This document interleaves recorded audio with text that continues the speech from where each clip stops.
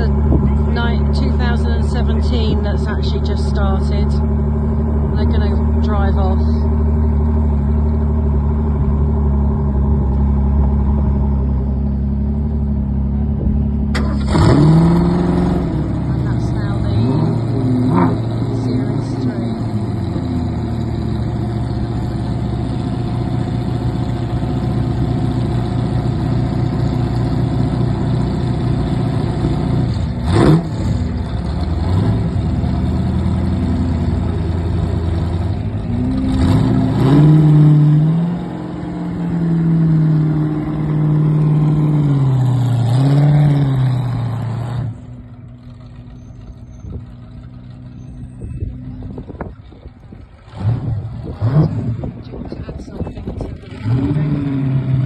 Well, if those are original GT40s, then they're worth between them billions. Millions. Yeah.